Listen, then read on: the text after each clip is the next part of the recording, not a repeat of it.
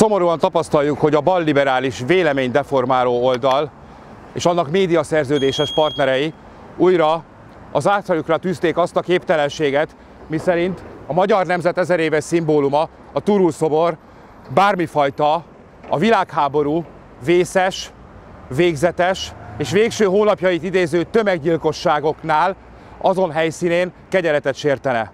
Ezt visszautasítjuk. A turul madár a magyarság ezer éves ősi szimbóluma, a magyar nemzet túlélésének a jelképe, a magyar élet szimbóluma, és mint ilyen, és mint világháborús emlékmű, a magyar katonai helytállásnak a jelképe.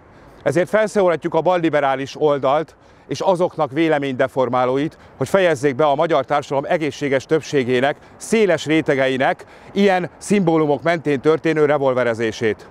A Turul szobor elbontásának lehetősége ellen is tiltakozunk, és minden rendelkezésre álló eszközzel meg fogjuk akadályozni, amennyiben ez a folyamat kezdetét venné.